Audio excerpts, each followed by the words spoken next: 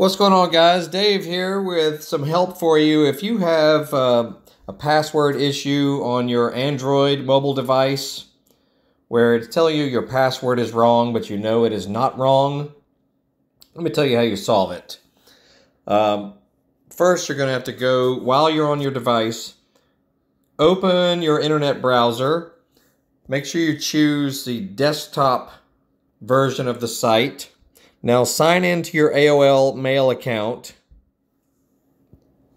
Okay, but it has to be in desktop form because you're going to get to a special menu that's only available while in desktop form. Okay, so we'll go to desktop.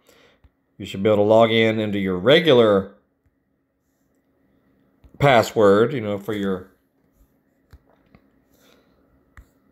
for your AOL account. Okay, once that comes up, all right, here's what we do. We need to go up to your your account info up in the top right. Let me get my let me get my little S Pen here. Okay, we'll go up here to the top, see where the pointer is. All right, now you need to go to account security here on the left. And then you need to generate and manage app passwords. Basically, you're going to have to have AOL create a password. It's not going to change your standard password. This is going to create a password so that the Outlook mail app on your phone can read your AOL mail. It's so stupid. Don't ask me why. All I'm saying is this is how you fix it. Okay, we're going to generate and manage that password. So go into here.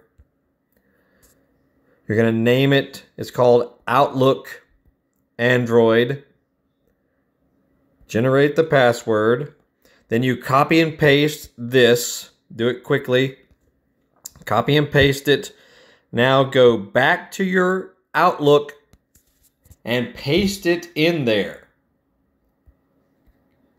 Okay, you're going to paste what you just copied.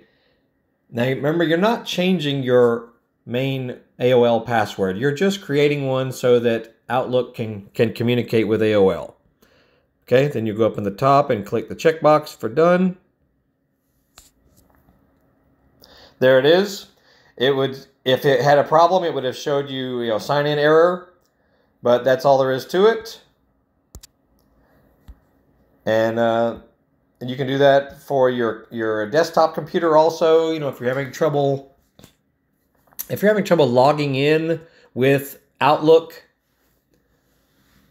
on your desktop computer or your laptop or whatever, you can also do that same procedure while you're on your desktop. Okay, but this particular one is just for Android mobile device.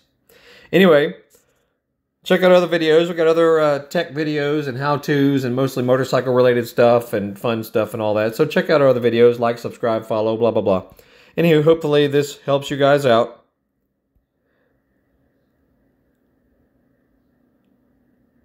Y'all have a great day.